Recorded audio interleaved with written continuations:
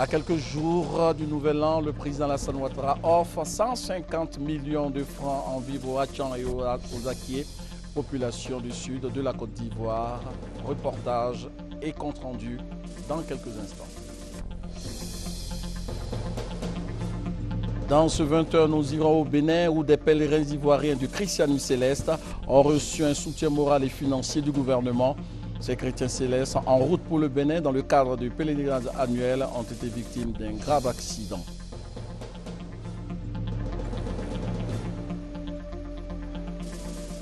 Faut-il rappeler ou non le contingent tchadien déployé en Centrafrique? Les avis sont partagés après les violentes tensions entre militaires et civils. Nous en parlerons également dans quelques instants. Euh, voilà pour le sommaire. Bonsoir, bienvenue aux 20h. Commençons par la localité de Sikinsi qui a désormais une préfecture. Vous allez le voir en image.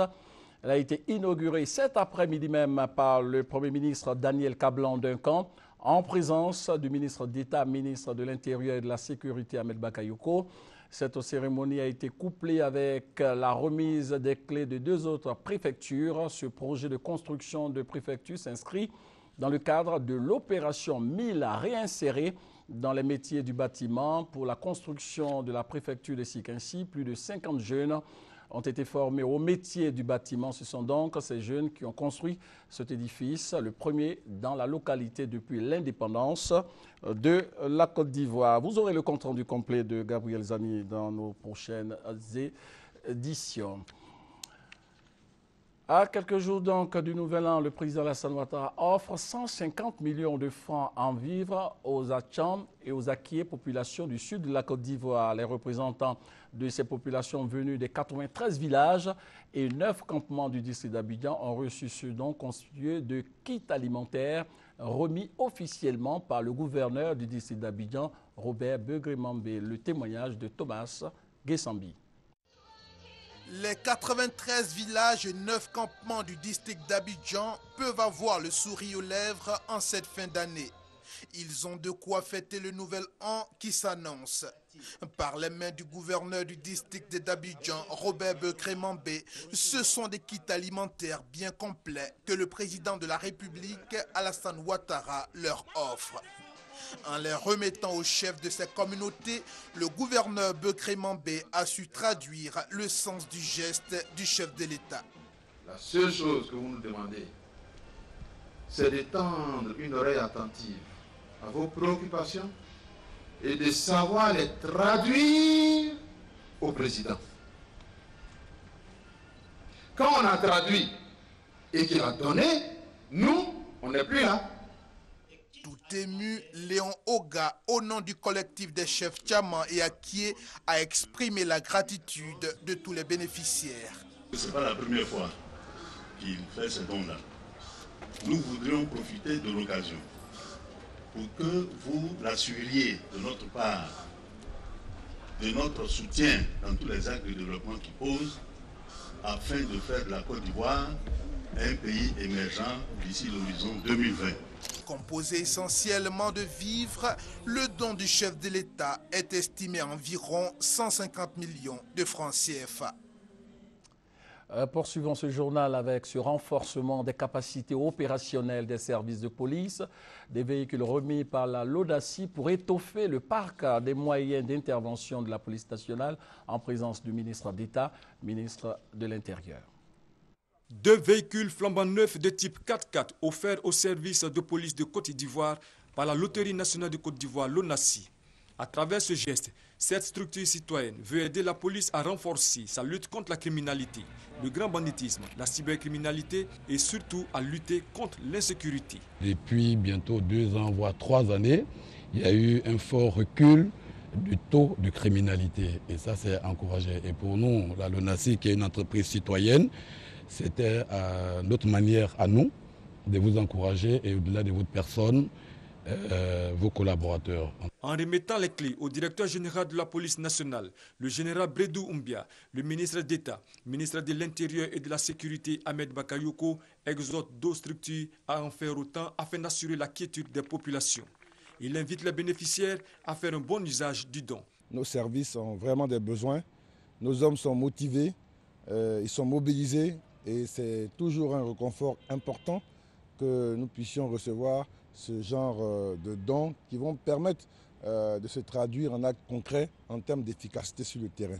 La police criminelle et la police économique et financière en sont les grands bénéficiaires.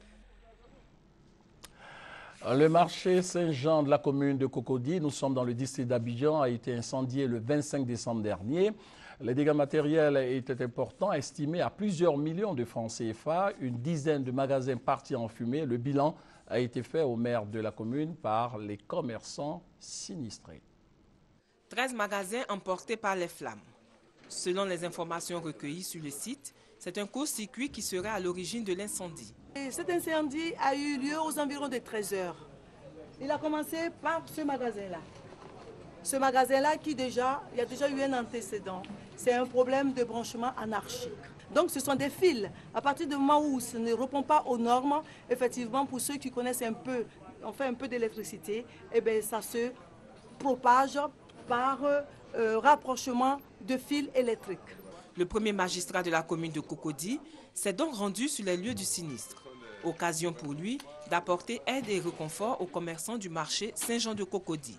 Je suis un peu, un peu choqué parce que ce sont des personnes qui ont pour activité le commerce. Donc voir leur euh, instrument partir en fumée, c'est choquant. J'ai demandé à mes services de recenser tous les magasins qui appartiennent à la mairie à Cocody. Je crois que ce travail est fait. Nous allons voir cas par cas pour recaser chacun. Une partie du marché est partie en fumée. Selon Gouan Akamatias, maire de la commune de Cocody, le marché Saint-Jean de Cocody sera réaménagé. Les populations de la sous-préfecture de Biancouma ont été sensibilisées à la lutte contre les violences faites aux femmes. Des informations nécessaires ont été données sur ces actes de violence basés sur le genre. Des précisions avec Thérèse Tapeyoboué. Marche silencieuse, sketch, animation publique ont marqué ces séances de sensibilisation sur les violences basées sur le genre dans l'ouest de la Côte d'Ivoire. Dans le village de Gbablasso, situé à une dizaine de kilomètres de Biancouma, les femmes, les jeunes filles, soutenues par les hommes, ont donné de la voix pour dire non aux violences faites aux femmes. L'engagement des hommes est formel. On ne veut pas frapper les, femmes, on ne veut pas frapper les enfants. toutes les populations ont compris. À partir d'aujourd'hui, on n'aura pas fait ça. Plusieurs localités de l'Ouest ont reçu la visite de l'ONG internationale, IRC, initiatrice de ces séances de sensibilisation. Et partout, le message est le même mettre fin à toutes les formes de violence basées sur le genre. Au départ, c'était difficile parce que la, question de la violence était étant liée à la question du sexe, qui est un tabou dans nos communautés. C'était difficile, les femmes souffraient en silence. Mais de plus en plus, elles commencent à dénoncer, à parler, à briser le silence. Par ces manifestations, l'ONG internationale d'IRC veut débarrasser la Côte d'Ivoire de tous les cas de violence physique et sexuelle et permettre ainsi aux femmes et aux jeunes filles de participer à la reconstruction et à la consolidation de la paix en Côte d'Ivoire. L'étape de construction des logements sociaux du gouvernement se poursuit à l'intérieur du pays. Le ministre de la Construction et de l'Urbanisme était récemment à Abengourou où il a procédé au lancement du programme de construction de ces logements. Une occasion mise à profit par Mamadou Sanogo pour exhorter les ressortissants de la région à s'inscrire dans ce projet. Alexis Widrog. Une nouvelle maison témoin, cette fois dans la ville d'Abengourou. Son message est clair, le programme de logements sociaux est une réalité ici aussi. Le ministre Mamadou Sanogo vient de lancer le démarrage du chantier de la localité. Nous avons visité la maison, mais elle n'a rien à envier aux belles demeures des deux plateaux. Donc vous voyez que les promoteurs qui ont été retenus étaient en tout cas euh, euh, compétents pour une telle mission. Nous sommes fiers des promoteurs, nous ne pouvons que les encourager et dire que euh, tous les Ivoiriens doivent désormais s'engager. Le ministre a exhorté les populations ressortissantes de la ville vivant à l'étranger à s'impliquer pour le succès de cette initiative. Les populations ont exprimé leur assurance quant à la réalisation de cette promesse du président Alassane Ouattara. Le programme de logements sociaux lancé par le chef de l'État devrait couvrir toute l'étendue du territoire ivoirien. Euh, parlons maintenant de protection de notre environnement. Le Fonds de financement des programmes de salubrité urbaine a remis du matériel d'assainissement et de collecte de déchets aux collectivités locales, du matériel pour améliorer le cadre de vie dans les communes du district d'Abidjan. Grâce Kando. Plus de 50 communes des villes de l'intérieur viennent de bénéficier de matériel de salubrité. L'initiative est du Fonds de financement du programme de salubrité urbaine, structure sous tutelle du ministère de l'Environnement, de la salubrité urbaine et du développement durable. Cette action rentre dans le cadre de l'appui aux collectivités territoriales. Appui que le ministère en charge de la salubrité euh, fait euh, depuis euh, quelques années maintenant et qui va permettre à nos communes qui en ont vraiment besoin d'être doté en matériel de salubrité pour collecter les déchets, pour les transporter et nettoyer les espaces et puis rendre notre environnement beaucoup plus sain. La santé de l'homme dépend en grande partie de sa condition d'existence, c'est-à-dire son cadre de vie, son environnement immédiat. Avec ce matériel, les communes seront de plus en plus propres, une promesse faite par les bénéficiaires. C'est une bouffée, euh, une bouffée d'oxygène que nous avons pour nous, les communes qui n'ont pas un budget euh, assez fourni. Nous allons essayer de nettoyer nos villes, de mettre de l'ordre. C'est vrai, l'État fait beaucoup en nous octroyant des budgets, mais euh, lorsqu'on reçoit ces genres de matériel aussi, c'est un grand plus pour nous. Ça nous permettra effectivement de satisfaire notre population. Le directeur général du Fonds de financement du programme de salubrité, Simi Gildas, compte entreprendre des missions de suivi-évaluation dans toutes les communes bénéficiaires pour constater si le matériel est utilisé à bon escient. L'ANADER, l'Agence nationale d'appui au développement rural, a 20 ans et les festivités marquant cet anniversaire ont pris fin ce vendredi au Parc des sports de Trècheville, une occasion pour le ministre en charge de l'Agriculture, Mamadou Sangafowa, dénoncer eh bien, ses ambitions pour cette agence d'appui au développement rural. Des précisions avec Alexis Ouedraogo. Pour faire face aux besoins alimentaires d'un pays, il faut une agriculture professionnelle, un encadrement efficace pour des productions de qualité. En Côte d'Ivoire, c'est le rôle de l'ANADER, Agence nationale d'appui au développement rural. La structure sert d'interface entre les services compétents, les communautés villageoises, les exploitants et autres techniciens spécialisés. Elle œuvre outre mesure à la formation aux métiers agricoles. Ce vendredi, l'ANADER célèbre ses 20 ans en présence de son ministre de tutelle Mamadou Sangafoa. Il n'a pas manqué de dérouler sa vision pour la structure. 20 ans après, l'ANADER a un bilan largement positif. Et maintenant, l'ANADER veut aller plus loin.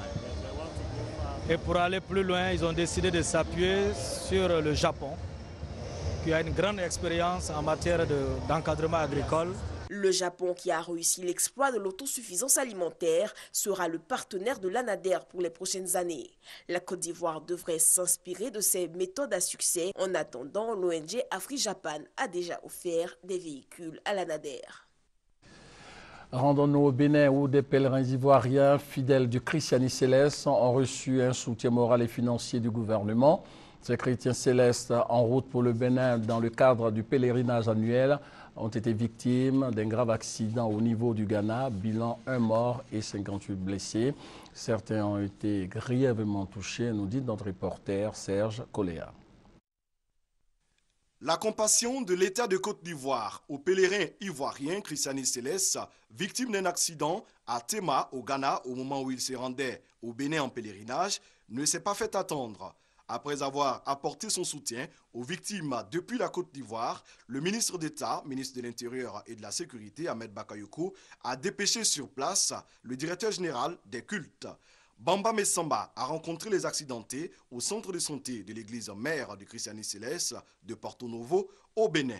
C'est un convoi de 5 cars de 70 places qui avait pris le départ d'Abidjan le 21 décembre 2013. L'accident d'un de ces cars a fait 58 blessés et un passant tué. L'accident, selon les passagers, est consécutif à une sortie de route.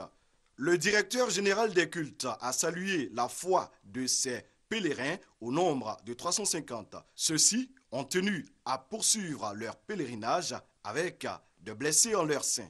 Même si nous savons que certains souffrent encore, nous avons foi qu'ils pourront regagner la Côte d'Ivoire dans de meilleures conditions et donc continuer euh, les traitements et surtout continuer de prier. 3 millions de francs CFA, c'est le geste du ministre d'État Ahmed Bakayoko aux victimes et à la délégation de pèlerins du Christianisme Céleste. Interné aux urgences du Centre national hospitalier universitaire de Cotonou, un des pèlerins ivoiriens dont le cas semble plus critique reviendra à Abidjan par voie aérienne. Il faut noter que 450 pèlerins ivoiriens sur près d'un millier ont été pris en charge par l'État de Côte d'Ivoire dans ce pèlerinage qui a eu lieu aussi bien au Nigeria qu'au.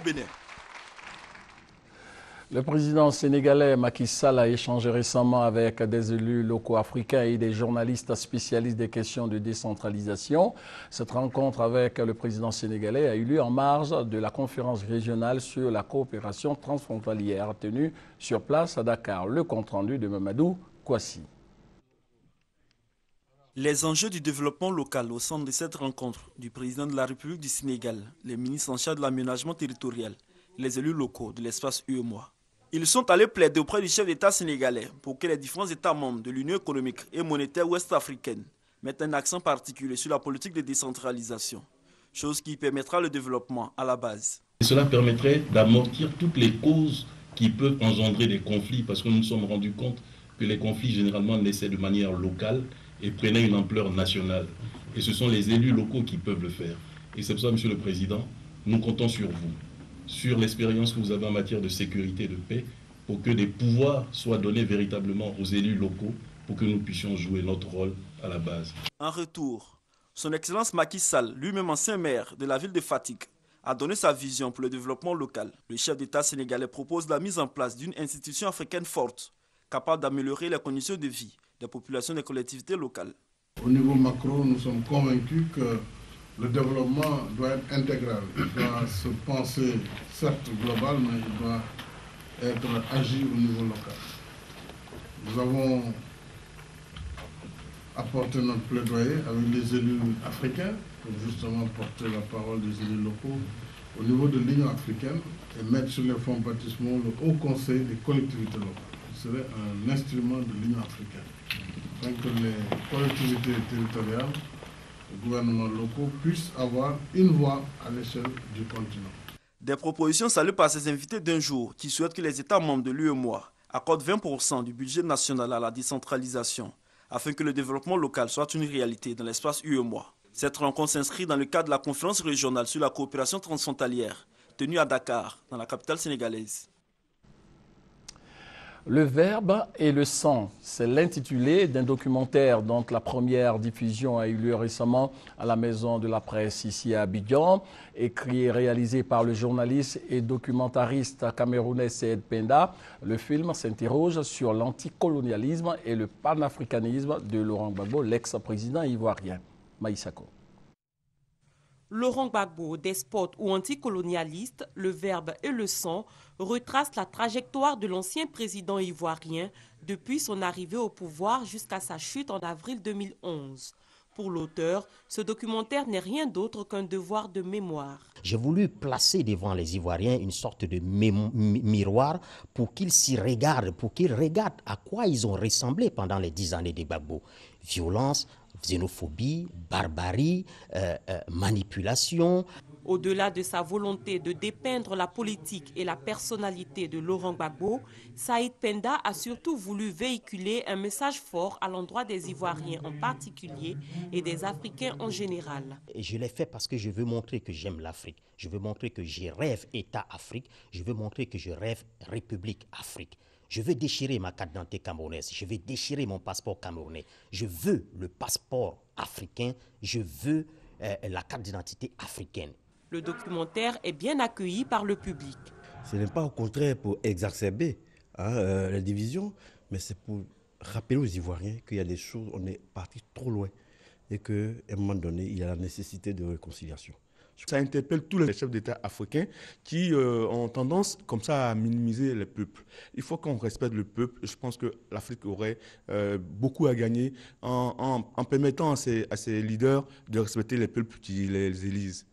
Laurent Gbagbo, despote ou anticolonialiste, le verbe et le son, est le fruit de plusieurs heures d'entretien avec des victimes et parents des victimes, mais aussi avec plusieurs personnalités, dont le chanteur Tikenja de Fakouli et l'ancien président sénégalais Abdoulaye Wade. L'actualité sur le continent avec cette interrogation, faut-il rappeler ou non le contingent tchadien déployé en Centrafrique? Les avis sont tout simplement partagés. N'Djamena s'inquiète pour ses ressortissants de Bangui. Les unes de la presse en témoignent.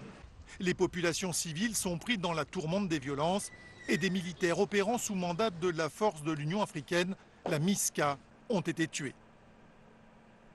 Nous venons de perdre six soldats injustement attaqués par des commanditaires tapis dans l'ombre qui se cachent et qui prennent le nom des anti-Baraka. Or, nous savons pertinemment que ce sont en fait des anciens de Bozizé qui ont infiltré la population et qui lâchement commettent ces actes-là. Dans Bangui, les Tchadiens sont accusés de prêter main forte à l'ancienne rébellion Séléka qui a renversé le président Bozizé. Une rébellion qui compte en son sein de nombreux Tchadiens. Des accusations que réfute N'Djamena. Nous constatons malheureusement qu'il y a aussi ces derniers temps un lynchage médiatique de certains médias euh, qui jettent de l'huile sur le feu et qui veulent jeter l'opprobre sur nos forces de défense et de sécurité. Bangui s'enfonce toujours plus dans la violence. La canonnade a encore retenti une bonne partie de la nuit et la population fuit dans tous les sens.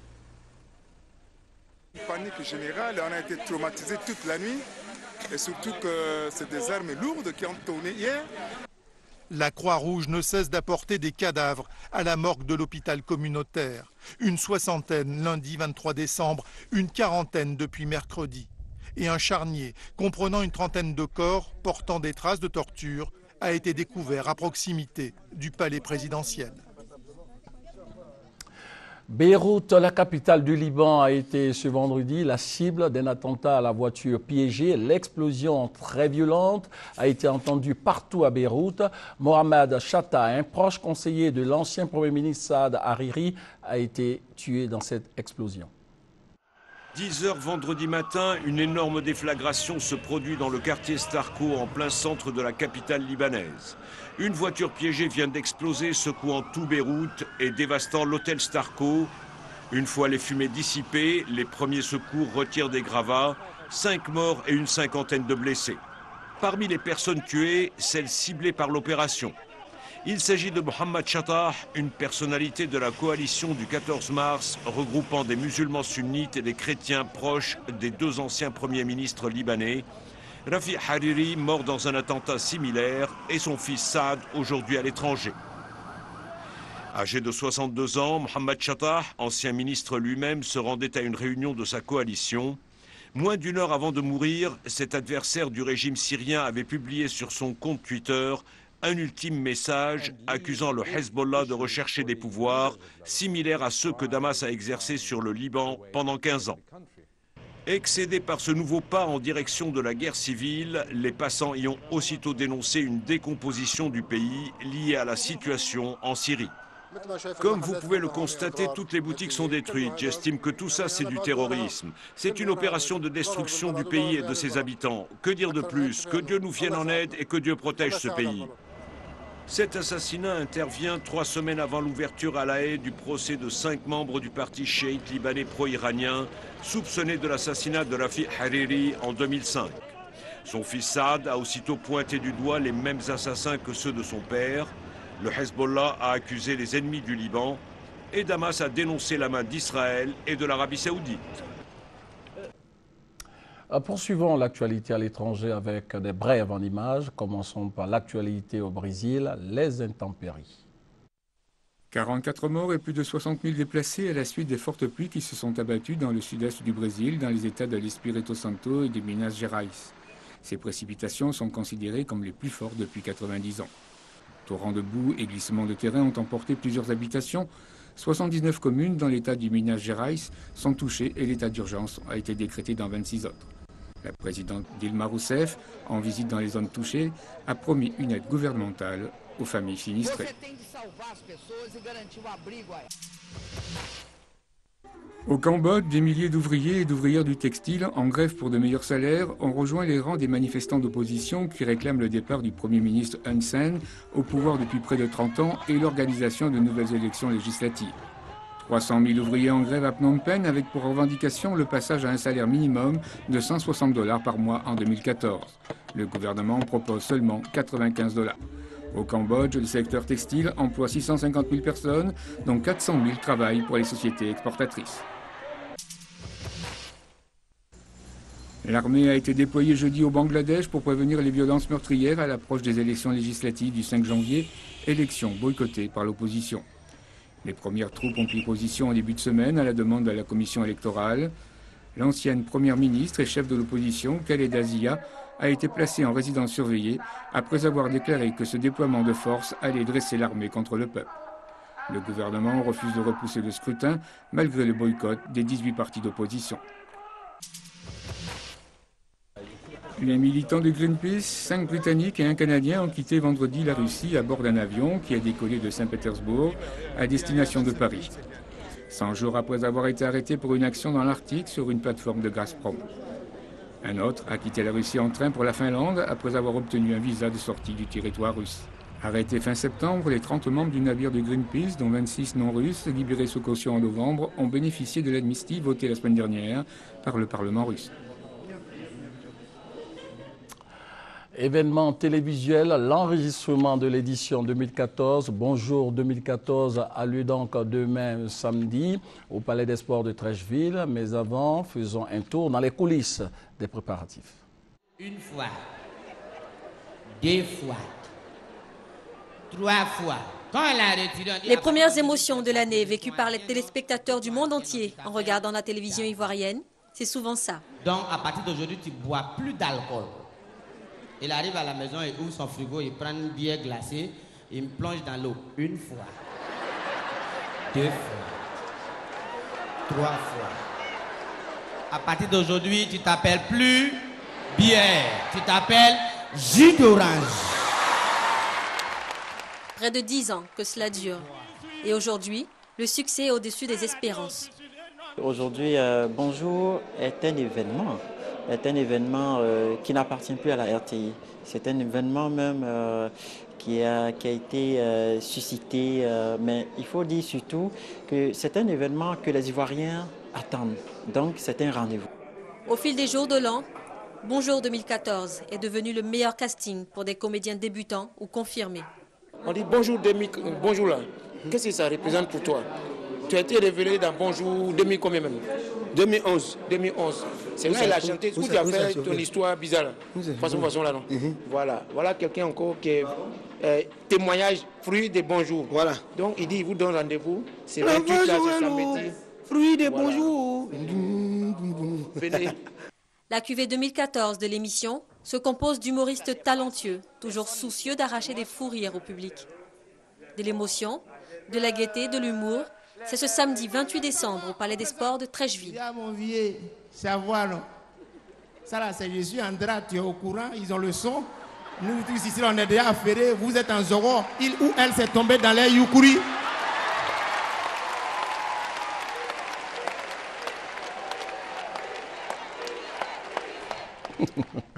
Alors voilà, donc nous allons terminer ce communiqué, bien évidemment, dans le sourire, n'est-ce pas? Le directeur général des impôts invite les propriétaires de maisons, de bâtiments ou de terrains à payer leurs impôts fonciers au plus tard le 31 décembre 2013 pour bénéficier d'une réduction de 25%. À cet effet, il les informe que les caisses de la Direction générale des impôts seront exceptionnellement ouvertes demain samedi 28 décembre de 8h à 14h sans interruption.